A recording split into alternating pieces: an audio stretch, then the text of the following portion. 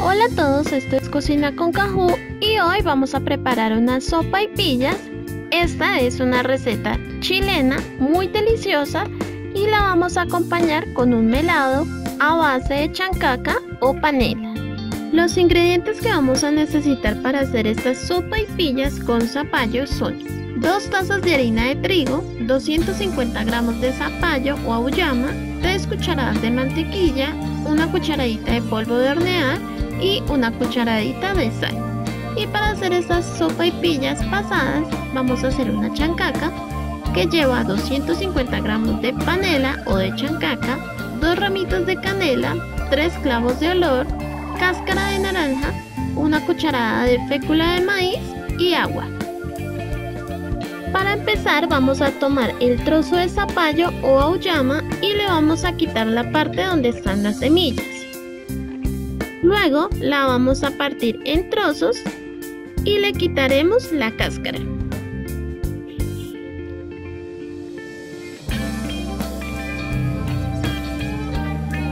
Esto lo vamos a poner a cocinar en la olla express con un poquito de agua y sal.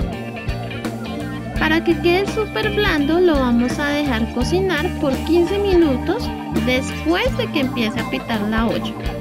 Y listo, cuando ya esté, la vamos a escurrir y vamos a estriparlo con ayuda de un tenedor o también lo pueden licuar para que quede como una cremita.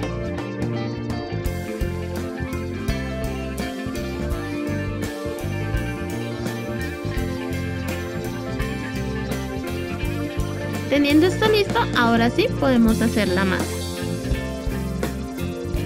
La harina que yo compré ya tiene polvo de hornear, pero si la tuya no, agrégale una cucharadita.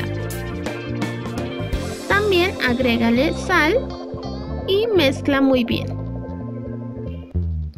Luego agrega el zapallo, más o menos una taza. Mezclan primero todo con una cuchara, ya que el zapallo está caliente. Luego sí, empieza a hacerlo con la mano.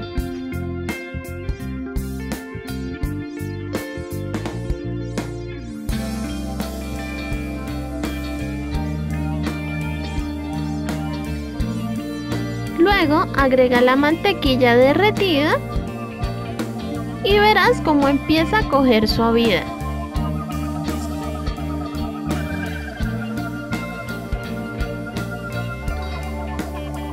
Sientes que está ya demasiado húmeda, agrega un poco de harina, pero no mucho.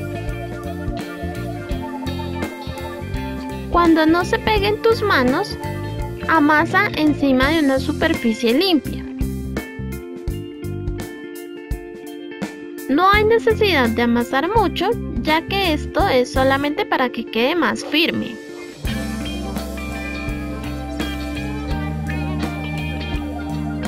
La masa la vamos a dejar reposar por 5 minutos tapado. Pasado este tiempo la masa se deja trabajar muchísimo mejor y la vamos a estirar con la ayuda de un rodillo. Y vamos a formar la sopa y pillas con una taza o un cortador.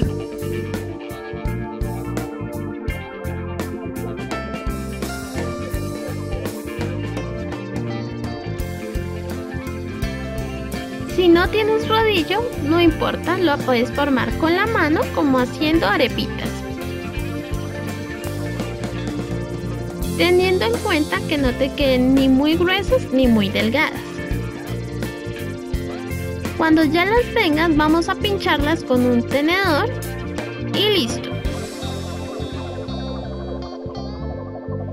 Dejen un poquito de masa para verificar la temperatura del aceite.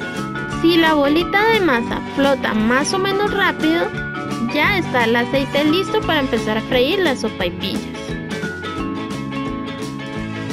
Vamos a ir metiéndolas y vamos a dejarlas cocinar por más o menos 5 minutos para que no nos vayan a quedar crudas por dentro. Ve dándole la vuelta y cuando ya las veas levemente doraditas, vas a sacarlas y a dejarlas sobre papel absorbente. Estas sopaipillas se acompañan de diferentes maneras, con cosas dulces o hasta con ají. Pero me llamó mucho la atención una que se llamaba chancaca, que la chancaca es la panela aquí en Colombia. Y cómo no hacerla si a nosotros nos encanta. Para hacerla vamos a disolver una panela de 250 gramos en poca agua y la vamos a aromatizar con unas ramitas de canela, con cáscara de naranja y clavos de olor. Para que los clavos sean más fáciles de retirarlos, vamos a enterrarlos en la cáscara de naranja y listo. Cuando la panela ya esté derretida, tomamos un poquito de agua en la cual vamos a disolver una cucharada de fécula de maíz